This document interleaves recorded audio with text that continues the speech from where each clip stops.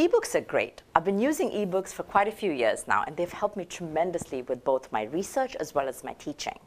If I were to weigh the pros and cons of um, a traditional book versus an ebook, ebooks are definitely the winner. Um, there are four basic reasons why I prefer ebooks, and I thought I would share that with all of you.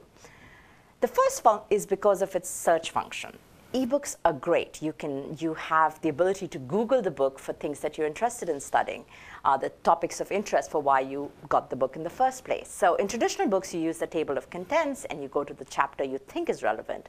But with ebooks, you can type in the keywords and you get a list of all the pages that mention your topic of interest. It's amazing.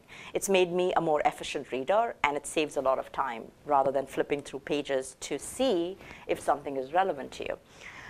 The second reason why I prefer ebooks is because it gives you the ability to highlight and annotate. It's, it's a great tool, especially because a lot of times when we read, we are thinking and analyzing, and, and, and there are certain thoughts we don't want to lose because you want to capture that at the time of your reading. So with an ebook, you can highlight the relevant text, create a note, and at the end of it, you can collate all your notes and highlighted text and be able to see the pattern in your own understanding. It helps tremendously when you're doing research because it allows you to summarize your understanding from a book rather than to go back to it and, and reread sections.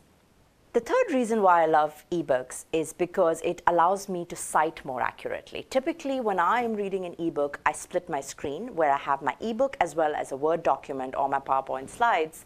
And every time I think there is something interesting that I want to capture, I use the snipping tool and just take a picture of a graph or a model, and I can easily transfer it into my Word document. So I'm not just reading, highlighting, and annotating, but I'm also transferring the things that I want to keep from the book.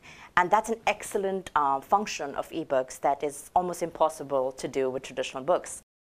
Final reason why I love ebooks is because it's so easy to use. Um, it's so portable. Um, I read now on the train, on the tram, on when I'm waiting for people for meetings. Basically, because of ebooks, I've started to read more because I can read in different places. Um, I can read on my phone, on my tablet, on any screen-enabled device.